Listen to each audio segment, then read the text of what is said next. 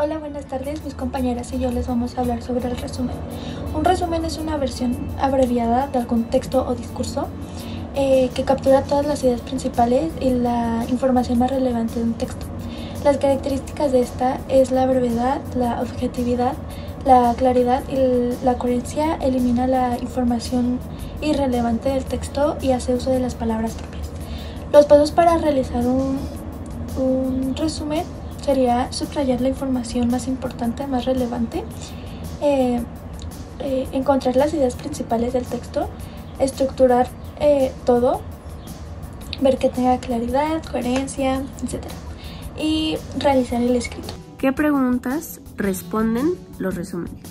Esto puede depender el resumen. Por ejemplo, si es el resumen de algún suceso que pasó histórico, puede ser cuándo sucedió, dónde sucedió, por qué sucedió, eh, quiénes fueron los que participaron, de qué fecha, qué fecha, etc. También puede depender el tipo de resumen, es depende el tipo de eh, pregunta que puede responder. También hay varios tipos de resumen. Ahí está el resumen eh, indicativo, el informativo, el indicativo, el crítico, el estructurado y el eh, analítico. Bueno, el resumen nos podrá ayudar en varias materias que podría ser literatura, eh, ciencias, biología, química, física, historia, matemáticas, derecho, eh, estudios sociales, negocios y economía. El ejemplo, el ejemplo podría ser como el matemáticas que nos podría ayudar a entender o recordar mucho mejor las fórmulas.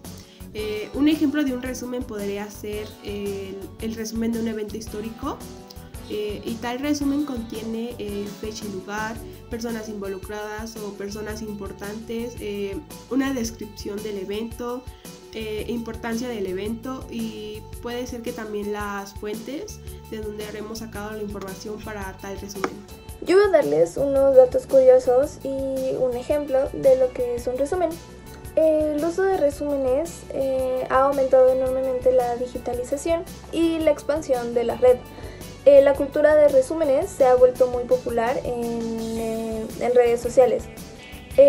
algunos estudios indican que los resúmenes, resúmenes se han vuelto tan populares que la gente ya no lee completamente los libros, sino que prefieren leer un, resumen de, de estos. También se dice que el trabajo de escribir un resumen hace que los estudiantes aprendan más rápido que cuando pues no lo hacen.